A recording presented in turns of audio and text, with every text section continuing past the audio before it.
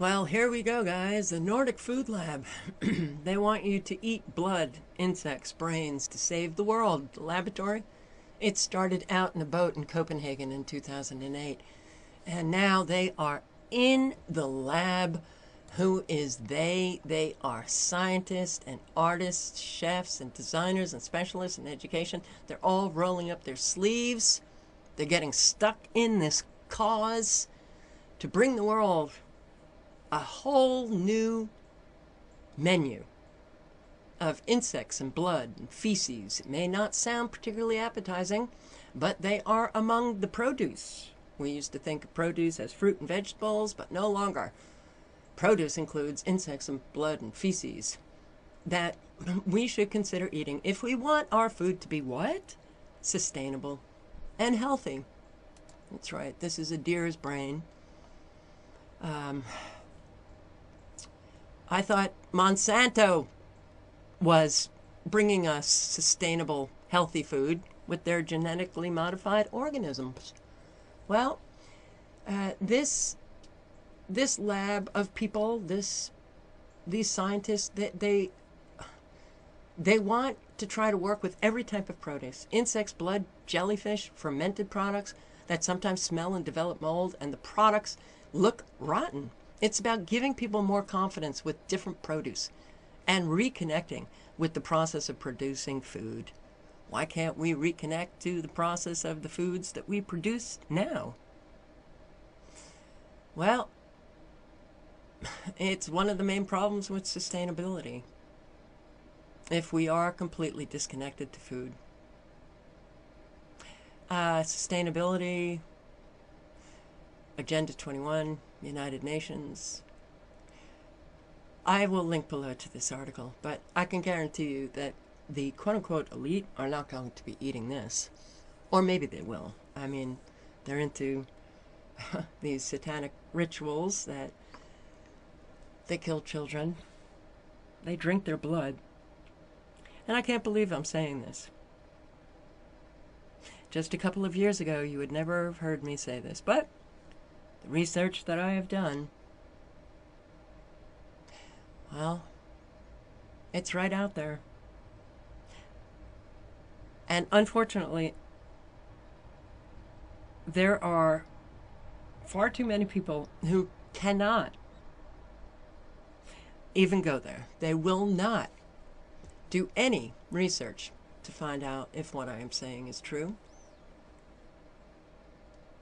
You know, when you think about it, there's an awful lot of people who worship um, Jesus. Why wouldn't there be people who worship Lucifer? A lot of people believe in God. Why wouldn't there be people who believe in Satan? But these people who do believe in Satan and who practice Satanism are unfortunately now the heads of virtually every institution. They're in the White House, they're in Congress, they're in corporations, they're in our schools, they're in our churches, they have infiltrated all over the place. And when you read this article, you tell me if you don't feel like this is yet another way to degrade the masses to degrade the masses. They want animal blood to be an egg substitute. Um, and after all, young elephants, hippos, koalas, rabbits, pandas eat their mother's feces to introduce useful microbes. So, microbes that keep your digestive system healthy. So, why shouldn't you eat feces to keep your your digestive system healthy? Well, I. if in reading this article it doesn't influence you to even consider becoming vegan, I don't know what else will.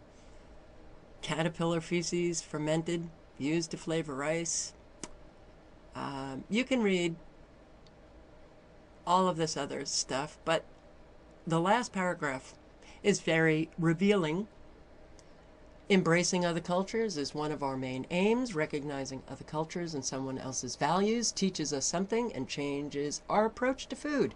We are living now in an international system. Hmm. United Nations Agenda 21. And we should really recognize ourselves as world citizens. So, this is all about the transformation of our world into the New World Order, which will be satanic.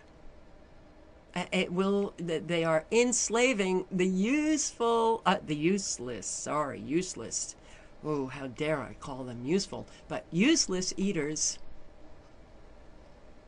training them to eat insects, feces, because that's what they think of you. Well, that's my take on this article. Click on the link below, read it yourself, and you tell me if you take away anything else from this.